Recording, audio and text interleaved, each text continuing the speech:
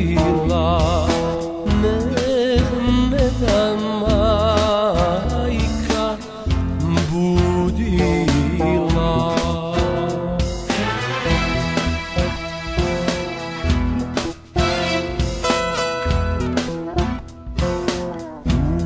Ustani sine Mehmede Mehmede Ustani see.